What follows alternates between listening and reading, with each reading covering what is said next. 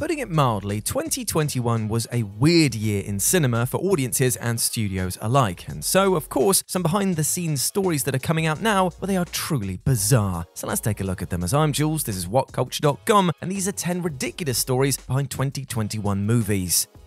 Number 10. Nicotine poisoning and needing a wash. The power of the dog. Unsurprisingly, the race for acting awards at the Oscars can be insanely competitive, so much so that many an actor has gone full method in order to immerse themselves in a role completely. But sometimes they take it too far, with hilarious results for anyone who isn't them. And this time, it's the turn of Benedict Cumberbatch. In The Power of the Dog, he plays Phil Burbank, a cowboy who rarely washes, loves to smoke, and hates Kirsten Dunst's character. So, good old Benedict did pretty much the same. In a recent interview, he said that he wanted to have a layer of stink on him, to the point where he got embarrassed by the cleaner. No doubt making his smell worse, Cumberbatch also talked about the constant stream of filterless cigarettes, which, as he said, had to be perfectly rolled with one hand. As a result, the smoking got so bad that it actually gave him nicotine poisoning on three separate occasions. To complete the final part of this method acting trifecta, both actors actively avoided each other for pretty much the entire shoot. While Dunst said it was because because of the hatred between their characters, she'll have a tough time convincing us that the cigarettes and BO weren't also at play. Number 9. Clash of the Titan movie sets Dune while starkly different stories in their execution, there's no denying that Star Wars and Dune look kind of similar on the surface. On first look, both sci-fi juggernauts focus on a chosen one tasked with saving countless planets from a maniacal leader's tyranny. However, no resemblance was quite as literal as both productions running into each other in the middle of the desert. As Dune production designer Patrice Vermette explained, he was location scouting in Jordan when he spotted a black SUV. He had a hunch that his friend Paul Inglis was in that car. He was the prime prime suspect as he previously worked with Villeneuve on Blade Runner 2049 before moving on to Star Wars The Rise of Skywalker, which was also in production at the time, and it turns out he was right. This insane coincidence quickly worried both teams, as neither wanted to face accusations of copying from the other, so bizarrely, a meeting was held between everyone involved to sort this out. Both productions agreed to film in different parts of the same desert, and somehow they all managed to make it all work, with audiences being none the wiser. Number 8. Butler's Accidental Rampage Cop Shop. Now, we all have our off days. For some, it comes at the expense of an extra cup of coffee or two. For others, the effects can be a tad more extreme. Take action movie veteran Gerard Butler's off day shooting Cop Shop, for example, because, of course, he wanted to do all of his character's own stunts, and so started his day fighting a stunt guy who ended up getting in the way of some lockers, as you do. While, according to the star, it was just so much blood coming out, they carried on. Unfortunately, as fate would have it, he wasn't actually the only person to split their head open that day. The second injury occurred while dodging one of Butler's attacks, causing an abrupt coming together between his head and a pillar. Butler capped off his unintentional assault on the Cop Shop production by accidentally shooting co-star Ryan O'Nan with a stun gun. To be fair, he got pretty unlucky here as he managed to hit the tiny area where his skin was actually exposed. Still, the carnage led to Butler claiming that he had to think about retiring. Okay, we know this is bad, Gerard, but let's not do anything hasty. Number 7. Marital Jeopardy A Quiet Place Part 2 Making a film can be exhausting both physically and mentally. Shooting long hours for months in less than ideal environments is tough enough, and being away from family for that time only adds to that. So you'd think having your wife with you for that process would make things easier, right? Especially if it's the second time around. Well, John Krasinski did as well, but it wasn't long before it turned stressful. While explaining the stunt in the opening sequence of A Quiet Place Part 2 to his wife Emily Blunt, it became clear to her just how risky it was. It had a bus going 40 miles an hour directly into Blunt's character, which is meant to come within a hair's breadth of her moving car. After offering to practice the stunt first, Blunt declined, wanting to jump into filming the shot straight away. And that's what they did. Incredibly, she nailed it on the first take, meaning that those are her actual reactions in the final cut. Now, while it all worked out in the end, John was taken aback by how real it all got, later remarking, I think I put my marriage on the line when I put her in that car. Number 6. Chaotic Cast Chemistry Jungle Cruise Sometimes a film comes along where the cast gets on like a house on fire. While it permeates on screen massively, it truly shines when the actors are in interviews together. Take the ones Emily Blunt, Dwayne Johnson, and Jack Whitehall gave while promoting Jungle Cruise. Here, they wasted no time explaining all the little things they did to enjoy themselves while filming. It appears Blunt was actually the instigator of many of these fun tidbits. Namely, she left inappropriate messages around Johnson's gym and got people across the production to call him Toots. Whitehall also had his fair share, from making sound effects during a kissing scene between the two leads to teaming up with Blunt to send Johnson patronizing stunt instructions in video form. Dwayne was also a great sport in putting up with the antics of his co-stars, and even got the last laugh when they had to get back to reshoot a fight scene because Whitehall's punching was deemed to be too soft to be believable.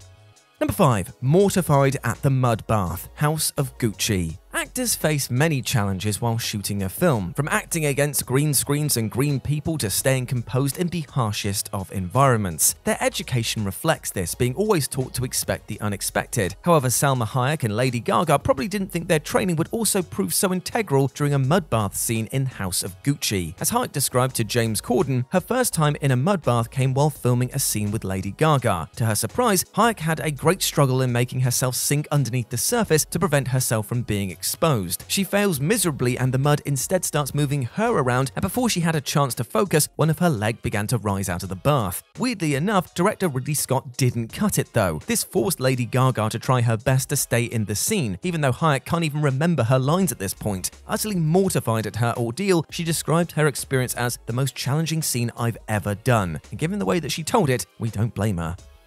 Number 4. Peele and Tarantino make a request. Last Night in Soho. For many fans of Edgar Wright's new film, the scene transporting us back to the 1960s for the first time is among its highlights. One detail that helped make the sequence memorable was looking up to a larger-than-life Thunderball marquee, cementing the time and place we now inhabit. However, fans might be surprised to hear just how close the poster came to not being in the final cut. The original plan was to use the Thunderball marquee, which they put up in London during the filming. Later on, though, Wright instructed the VFX team to to digitally switch Thunderball with the Fantastic Voyage, as he thought it would fit in with the film's themes better. While the change caused an issue with the year in which the film would be taking place, what really changed his mind was esteemed directors Quentin Tarantino and Jordan Peele. Showing them an early version of the trailer, Wright's main takeaway from their feedback was their love of the Thunderball marquee. These exchanges prompted a somewhat embarrassed Wright to return to the VFX people, asking them to revert it back. This just goes to show that sometimes you just need to go with your gut instinct.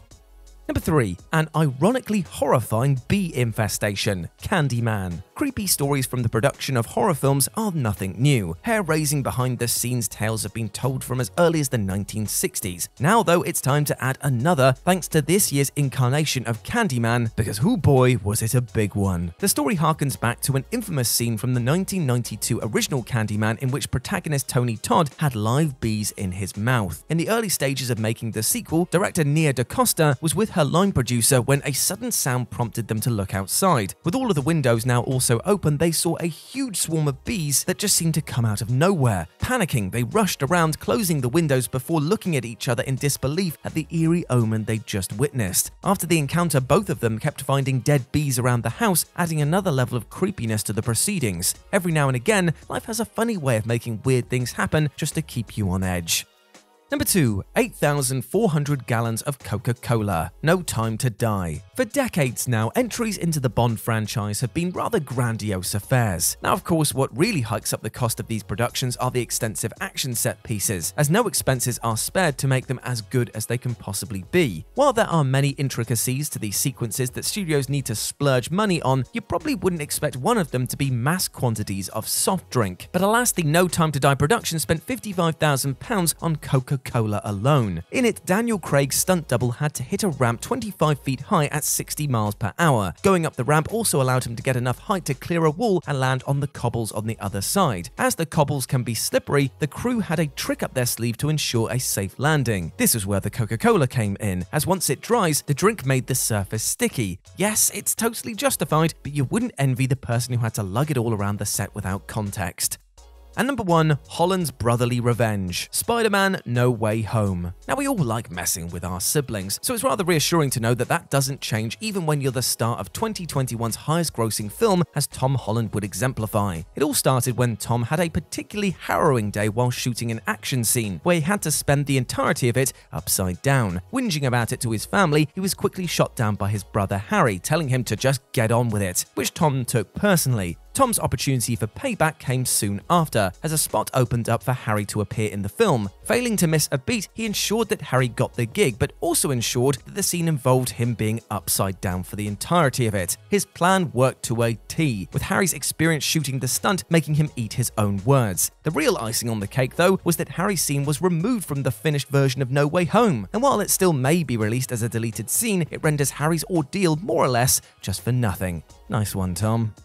And there we go, my friends. Those were 10 ridiculous stories behind 2021 movies. I hope that you enjoyed that, and please let me know what you thought about it down in the comment section below. As always, I've been Jules. You can go follow me over on Twitter at RetroJ with a zero, or you can swing by Live and Let's Dice, where I do all of my Warhammer battle reports and model making and other stuff like that, as well as my streaming outside of work. And it'd be great to see you over there. But before I go, I just want to say one thing, my friend, because you are a massive legend. And you deserve the best things in life, like love, happiness, and success. So treat yourself with that love and respect that you goddamn well deserve. As always, I've been Jules. You have been awesome. Never forget that, and I'll speak to you soon. Bye.